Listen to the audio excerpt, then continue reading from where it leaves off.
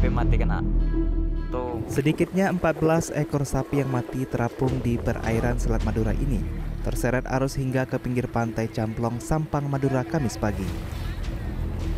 Belasan sapi ras Madura ini pertama kali ditemukan nelayan bertumpuk jadi satu.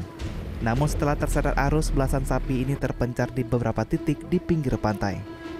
Pemandangan tak lazim ini membuat sejumlah warga penasaran, sehingga sapi-sapi yang sudah menjadi bangkai ini menjadi tontonan warga. Guna mengevakuasi belasan bangkai sapi ini, pihak Polsek Camplong berkoordinasi dengan Pol Air Polres Sampang dan dinas terkait. Tadi pagi pak, tadi pagi sekitar kita dapat masuk ke warga dari warga kita sekitar jam 8 sampai jam 8, 8 lah. Kita ada uh, masyarakat Sesuai hasil koordinasi, bangkai sapi itu akan dikubur di pantai setempat.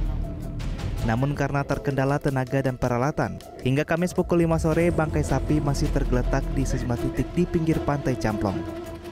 yaitu kita masyarakat ev- evakuasi kita kumpulkan semuanya sapi-sapi yang terpisah-pisah tersebut jadi satu kemudian kita bawa ke tengah laut dengan membawa dengan menggunakan kapal polisi Sementara itu, pihak Pol Air Polres Sampang masih melakukan penyelidikan dari mana sapi-sapi ini berasal.